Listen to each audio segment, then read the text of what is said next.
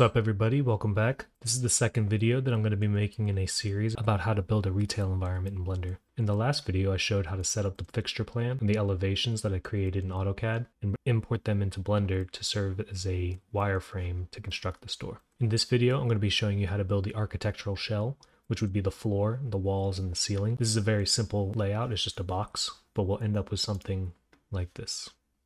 So we're going to do a concrete floor, brick wall, white painted ceiling, and some structural beams and lighting. So the first thing that I want to do is organize my drawings. I'm going to select my plan, M to bring up the move to collection menu, select a new collection, call this plan. I'm going to grab my three wall elevations, M to bring up the move to collection menu, put these on a collection called elevations, and then I'm going to put the storefront elevation on a separate collection called storefront elevation. Now I can control whether I want to see these visibly, or if I toggle on the selectable icon, I can lock them so that I can't accidentally select them or delete them. I also like to rotate this plan so that when I look in the front view, front view is the positive Y axis, looking in this direction. I want to set it up so when I look in this direction, I'm looking into the store. So I'm going to grab all of my drawings. Shift 3 brings up the transform pivot point. I'm going to select median point. RZ rotates it in Z axis.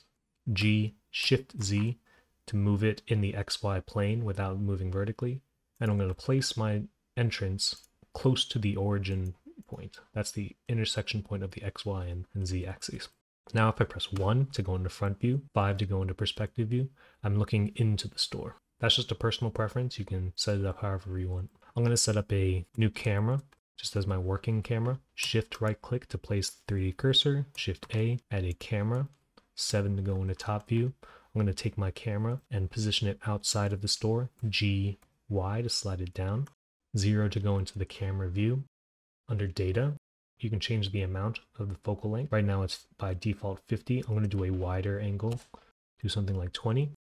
N brings up the transform item menu. I want to place this approximately eye height inches. That's approximately five and a half feet or 66 inches. And then I'm going to try to center this drawing vertically by sliding the shift Y up a little bit. So now I have a camera that's looking into the store that I can use in the future. It's good practice to put these, to separate these into a new collection. I like to think of collections like layers. So M, new collection, I'm going to call this camera, cameras. And again, I can lock this to make sure that I don't accidentally select it or move it.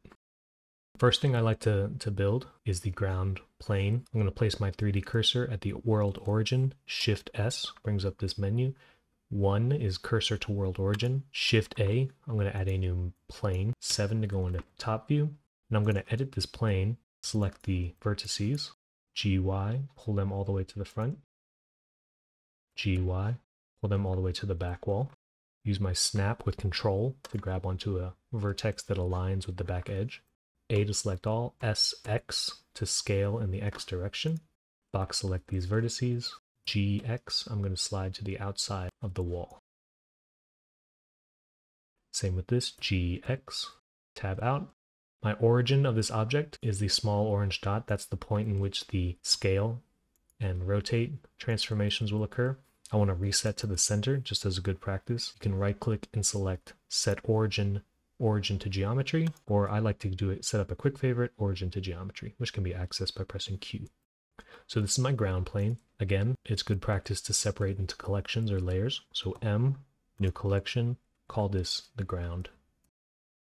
The next thing I want to do is model the walls. They're just an extrusion around these three sides. Technically, you could do something like this and grab the three edges. E to extrude, Z vertically, snap to the top of this wall.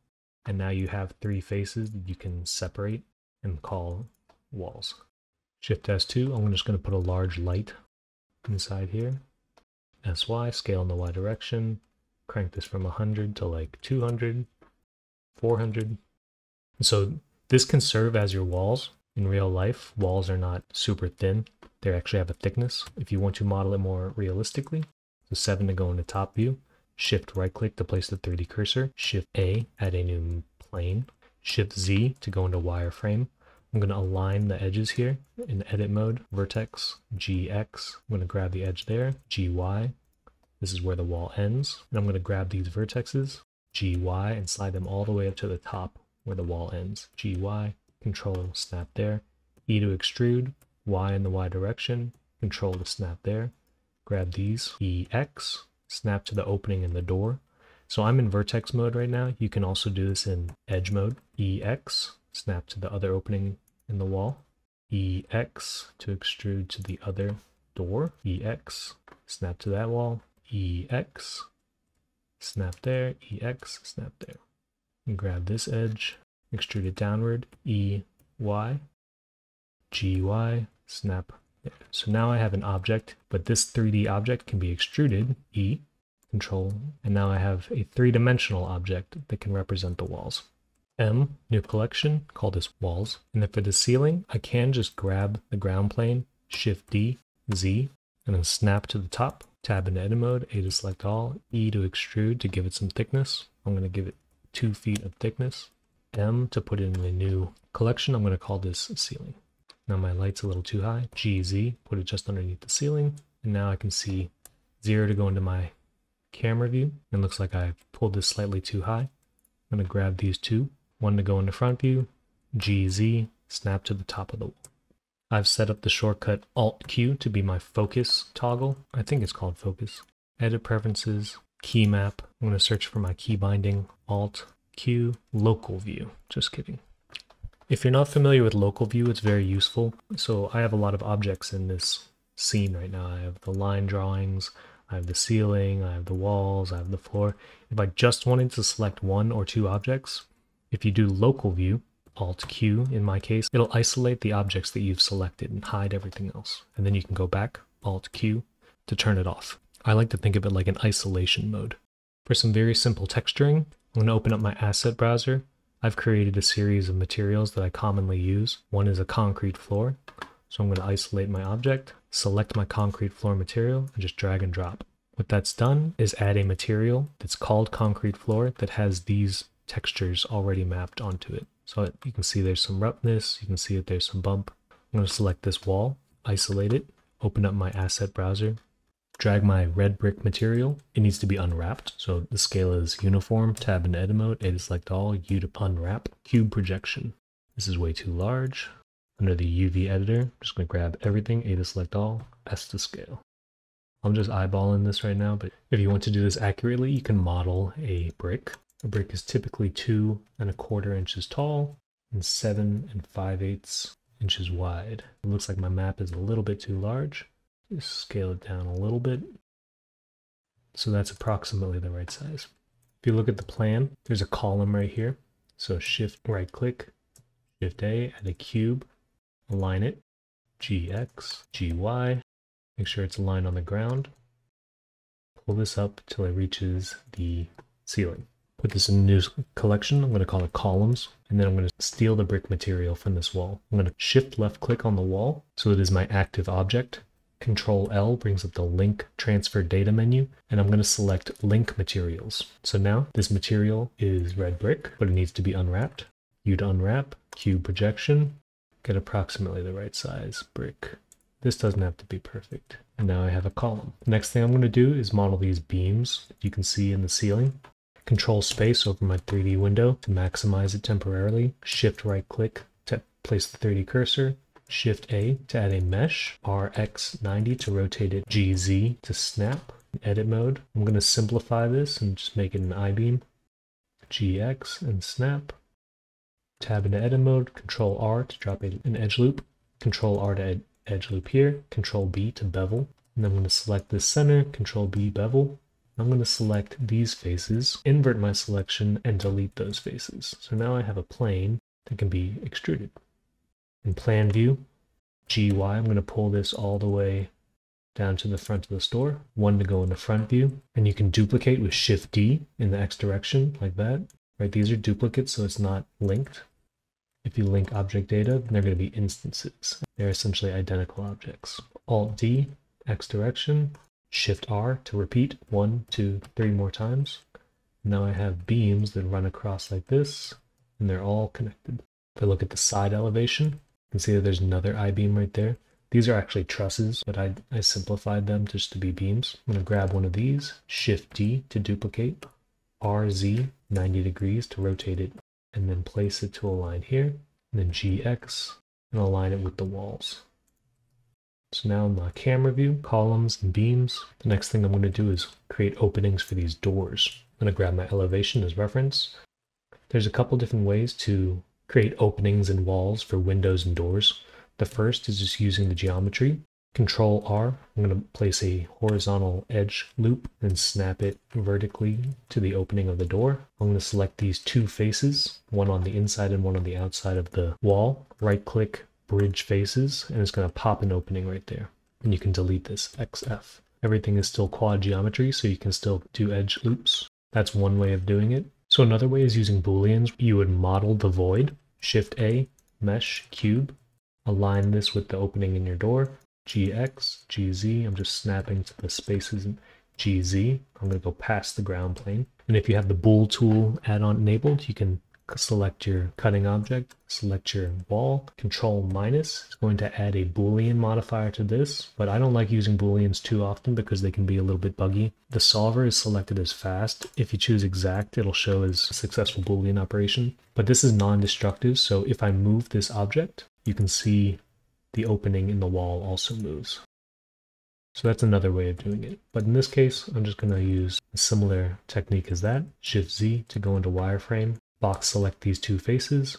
Right click, bridge faces to create that opening. Select this bottom face. XF to delete. So now I'm just going to model the doors. Shift A. Cube. 1 to go into front view. Tab into edit mode. Align with the door. GX. GZ, GZ. Right now it's two feet thick. I just want it to be a two inch door, seven. And then I'm going to place this inside the opening. Shift D, X, then control to snap to the other door location. This is a wider door, so I'm just going to edit it, tab into edit mode, grab this edge, GX, control to snap there.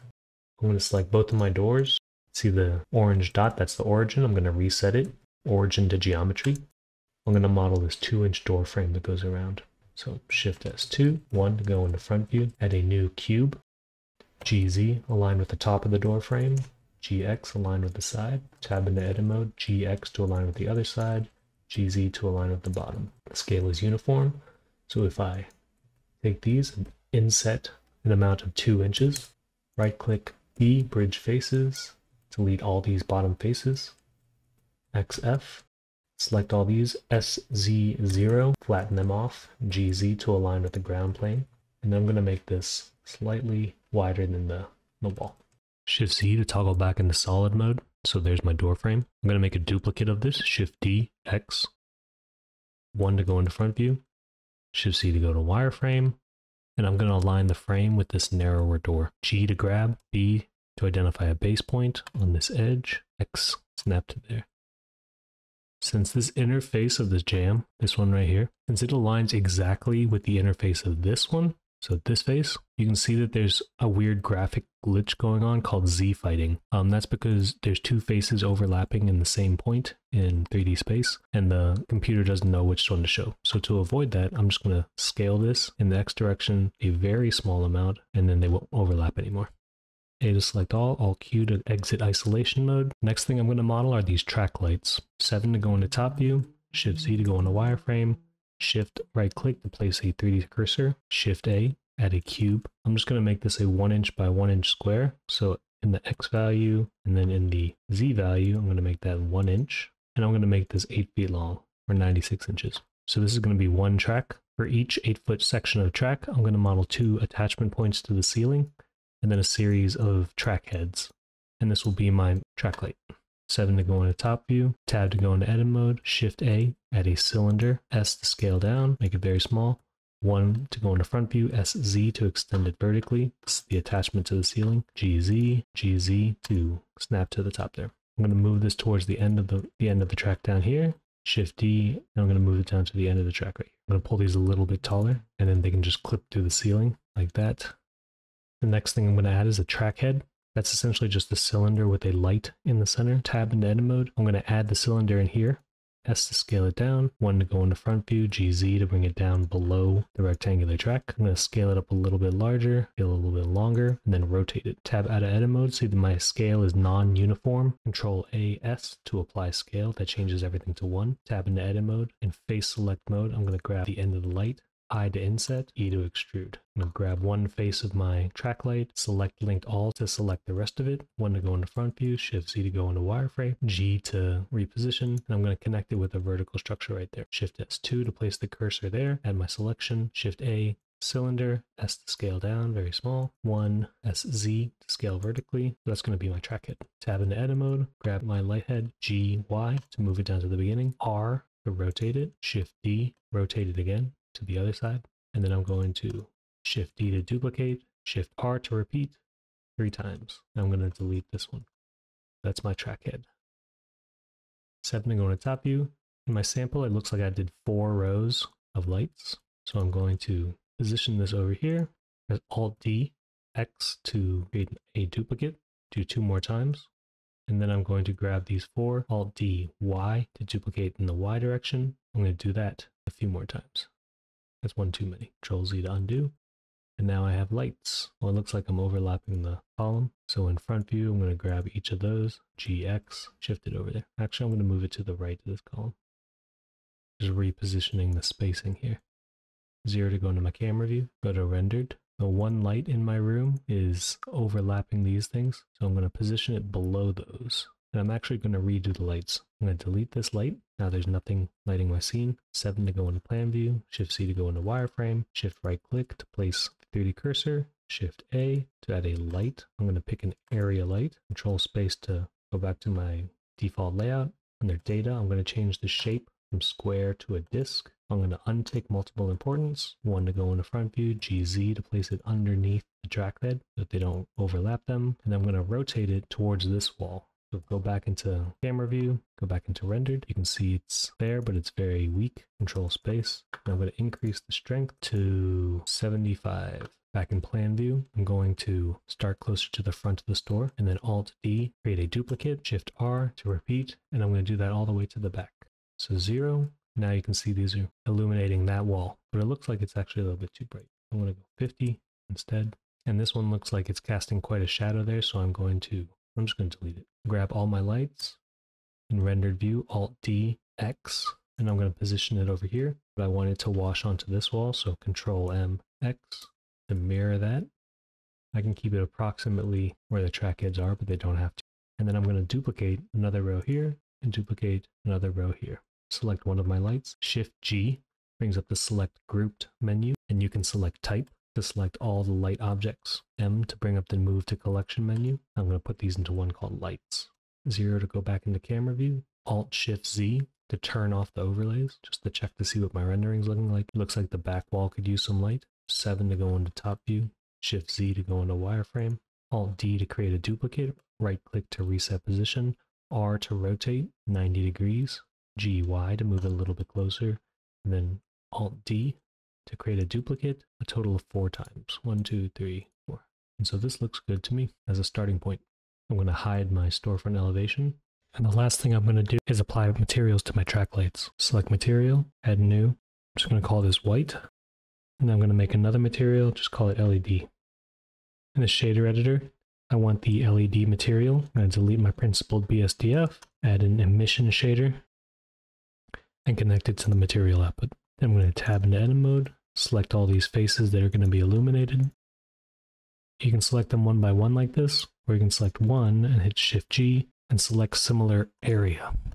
Reduce the threshold, and then it selects only the faces with the same area. Select LED, assign. I'm going to make it glow a little brighter. So now you can see the track heads when you look in the render. In the next video, I'll be demonstrating how to model the wall panel system and importing the floor fixtures. Thank you for watching. I hope this was helpful. Please like and subscribe for more.